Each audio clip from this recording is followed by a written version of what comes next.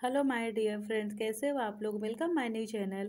आज मैं आप लोगों के लिए ब्रेड मलाई की रेसिपी लेकर आई जो दिखने में जितनी ज़्यादा लाजवाब दिख रही खाने में उतनी ज़्यादा टेस्टी है।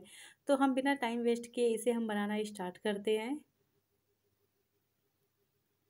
सबसे पहले हम यहाँ पर एक पैन लेंगे। पैन में मैंने एक कप दूध लिया है। ये एक दूध पाँच ग्राम के बराबर है। और यहाँ पर मैंने वन टेबल स्पून शक्कर लिया, मैंने आधा चम्मच शक्कर और डाला हुआ है। और यहाँ पर मैं चार से पाँच हरी वाली इलायची लूँगी, आपके पास में पाउडर तो आप लोग पाउडर इसमें डाल सकते हैं। एक बॉयल आने तक हम इसे पकाएँगे। और यहाँ पर मैंने one tablespoon custard powder लिया है। दो टेबल स्पून मैंने यहाँ पर मिल्क ऐड किया मिल्क ठंडा वाला है और इसे अच्छे से घोल बना लेंगे ताकि इसमें एक भी गुटली एक भी लम्स नहीं होना चाहिए। दूध हमारा उधर एक से दो मिनट के लिए हमने पकने के लिए रख दिया है। और दूध हमारा काफ़ी अच्छे से पक चुका है। काफ़ी ज़्यादा थिक हो चुका है।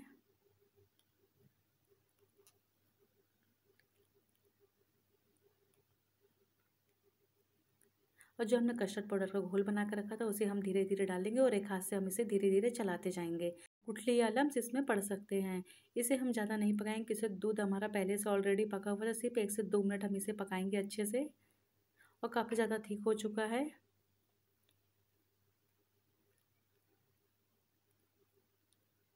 अब मैंने यहाँ पर गैस की फ्लेम को बंद कर दिया है और इसे हम ठंडा होने के लिए रख देंगे। एक से दो मिनट के बाद में इसे हम फिर किसी बर्तन में निकाल के हम इसे फ्रिज में रख देंगे अच्छे से ठंडा होने के लिए।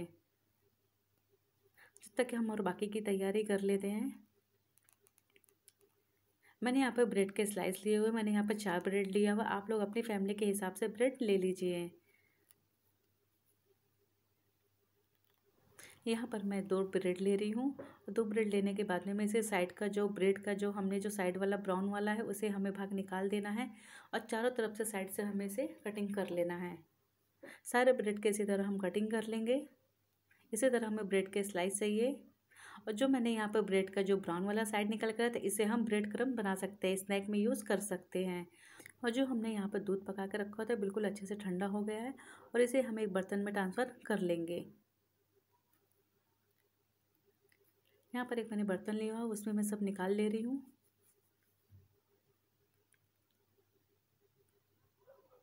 और इसे निकालने के बाद में इसे मैं थोड़ा देर के लिए, दो से तीन मिनट के लिए इसे मैं फ्रिज में रख दूँगी ठंडा होने के लिए।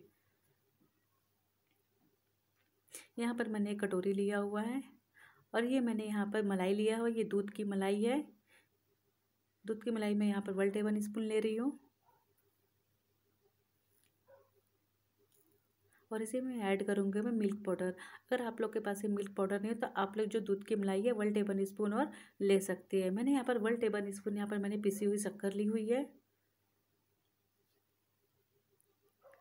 और मैंने यहाँ पर वन टेबल स्पून मैंने यहाँ पर नॉर्मल दूध लिया हुआ इसे हम अच्छे से मिक्स करेंगे।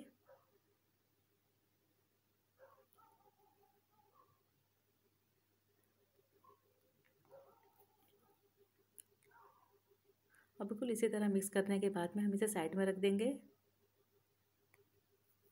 और जो हमने ब्रेड के स्लाइस लिए हम वहाँ पर आते हैं। ये ब्रेड के और हमें ब्रेड का एक स्लाइस उठाना है ऐसे।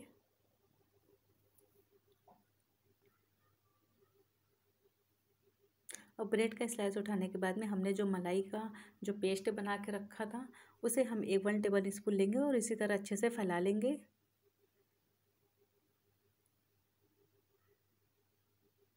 इसे पूरी तरीके अच्छे से फैला देंगे।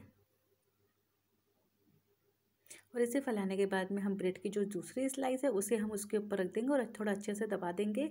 और जो बाकी के बचे हुए ब्रेड है, हम सारे में ऐसे मलाई लगा के रेडी कर लेंगे।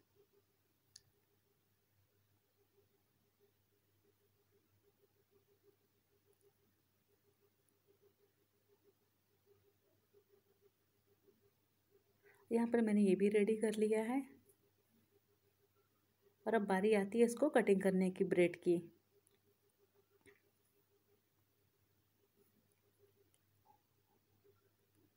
इसे उठा के हम साइड में रख लेंगे, हम ब्रेड का एक स्लाइस लेंगे। और ब्रेड को स्लाइस के लेने के बाद में हम इसे कटिंग करेंगे। आप लोग जैसा चाहें, आप लोग को जैसा पसंद हो, आप लोग इसके ब्रेड की कटिंग कर सकते हैं। यहाँ मैं ट्रियंगल में कटिंग कर रही हूँ इसकी। अगर आप लोग चाहें तो बिल्कुल ऐसे भी कटिंग करके रख सकते हैं। आप लोग की जैसा मन करे, आप लोग वैसे, जैसे आप लोग का शेप अच्छा लगे, आप लोग वैसा कटिंग कर लीजिए। यहाँ पर मैं एक ब्रेड के चार भाग कर रही हूँ, बिल्कुल ऐसे देखिए। हम सारे ब्रेड के ऐसे कटिंग कर लेंगे और करने के बाद में हम एक प्लेट में, जिसमें हमें देना है, उसे हम प्लेट में निकाल लेंगे। यहाँ पर मैंने वही वाला कटोरी लिया हुआ है जिसमें हमने मलाई का पेस्ट बनाया था। यहाँ पर मैंने एक कप नॉर्मल दूध ऐड किया हुआ है। अगर आप लोग यहाँ पर भी चाहें तो एक टेबल स्पून आप लोग यहाँ पर भी शक्कर डाल सकते हैं। मैं शक्कर का यूज़ नहीं कर रही हूँ। आप लोग चाहें तो मीठा खाने का शौकीन है तो आप लोग एक वन टेबल स्पून शक्कर इसमें ऐड कर सकते हैं।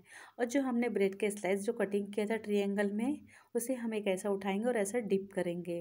और हमें फटाक से उसे उठाना है, नहीं तो ज़्यादा डिप हो जाएगा तो एकदम सॉफ्ट हो जाएँगे।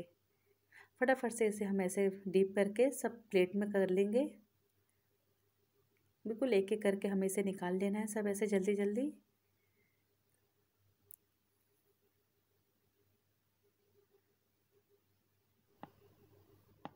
और सारे ब्रेड को डिप करने के बाद में अब बारी आती कस्टर्ड पाउडर की, जो हमने दूध में मिला के रखा हुआ था, अच्छे से ठंडा हो गया। और इसे हम जो हमने ट्रियंगल के सेप ब्रेड के काट के रखे हुए, उसके ऊपर हम अच्छे से कोट कर देंगे, अच्छे से डालेंगे।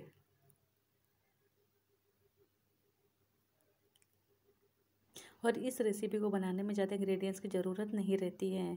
दो से तीन इंग्रेडिएंट्स से बन के ब्रेड मलाई बन के रेडी हो जाते हैं खाने में तो बहुत ज़्यादा टेस्टी होते हैं। आप लोग इसे बच्चों को दीजिए, आप लोग के घर में मेहमान आता है, आप लोग प्लीज़ इसे ज़रूर बनाइए। और ये बहुत अच्छी रेसिपी है। और कस्टर्ड पाउडर को ब्रेड मलाई के ऊपर डालने के बाद में अब बारी आती है इसे सजाने की डेकोरेट करने की। तो यहाँ पर मैंने बादाम और केसर के धागे लिया हुआ। अगर आप लोग कुछ और ड्राई फ्रूट डालना चाहें तो आप लोग इसमें ऐड कर सकते आप लोगों को मेरी आज की रेसिपी कैसी लगी प्लीज़ मुझे कमेंट करके ज़रूर बताइए। अगर आप लोग मेरे चैनल पर पहली बार आए तो please like and subscribe thank you for watching video bye